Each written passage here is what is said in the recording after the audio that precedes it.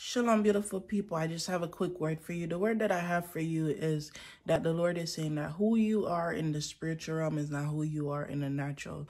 So walk by faith, not by sight, according to Second Corinthians 5, verse 7. Um, you you're in a season where you're saying to yourself, I don't feel like I'm moving forward. You feel like you're dealing with stagnation, you feel like you're dealing with delay.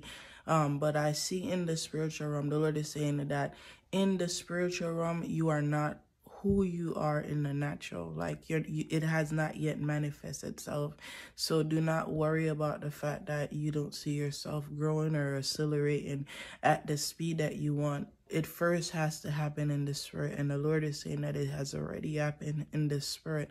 A lot of people won't be able to see it because it's not meant for them to see it. Some people are not meant to see who you truly are in the spirit and in the natural because the lord says that he's protecting you.